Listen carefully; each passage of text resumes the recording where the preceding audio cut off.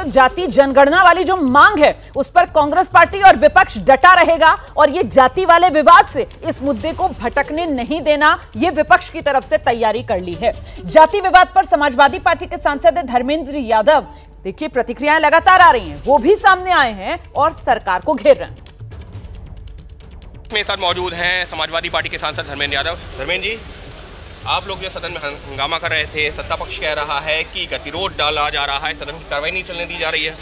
कोई गतिरोध नहीं सत्ता पक्ष के लोग अगर इस तरह से अभद्र टिप्पणी करेंगे जाति के लिए करेंगे लीडर अपोजिशन के लिए करेंगे अपोजिशन पार्टीज़ के लिए करेंगे या दलित पिछड़े आदिवासी और मुसलमान भाइयों का अपमान करेंगे तो उनका सम्मान और स्वाभिमान बचाना हम सबकी पहली प्राथमिकता है। सत्ता पक्ष के लोग स्वयं इस तरह की परिस्थितियाँ पैदा करते हैं और गलत आरोप लगाते हैं।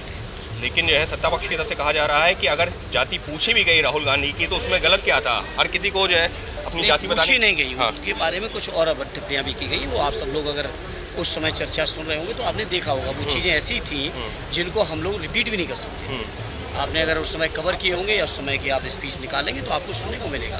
जाति नहीं पूछी गई थी पूरे दलित पिछड़े आदिवासियों का अपमान किया गया। हम्म। लेकिन जो सत्ता पक्ष से जुड़े हुए सांसद हैं नेता हैं वो तो ये कह रहे हैं कि इससे पहले अखिलेश यादव पता नहीं कितनी बार जो है लोगों की जाति पूछते रहे हैं। तो ये जो है दोहरा रवैया? नहीं दोहरा रवैया नहीं है। हम लोग लगातार दलित पिछड़े आदिवासी मुसलमान भाइयों के मान सम्मान स्वाभिमान की लड़ाई जाति जनगणना की लड़ाई आरक्षण बचाने की लड़ाई मंडल आयोग की सिफारिश लागू करने की लड़ाई को लड़ते रहे हैं और लड़ते रहेंगे।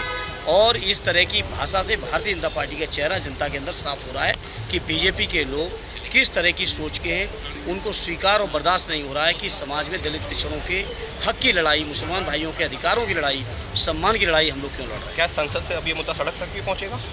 ज़रूरत पड़ेगी ज़रूर आए और संसद की कोई ऐसी चीज़ नहीं है जो सड़क तक न पहुँचे आम लोगों तक न पहुँचे। चुनावी मुद्दा आने वाले चुनावों में बीजेपी को कोई नुकसान पहुंचेगा? अब वो अलग बात है वो जनता को तय करना है लेकिन मुद्दा सामने है और लोग देख रहे हैं और पीडीए ने दिखा भी दिया उत्तर प्रदेश में विशेष कर। तो सुन रहे थे आप धर्मेंद्र यादव को जाति का मुद्दा जाति जनगणना का मुद्दा कुल मिलाकर संसद से बाहर निकलकर सड़क पर संघर्ष करने के लिए विपक्ष अपने तेवर दिखा रहा है संकेत दे रहा है।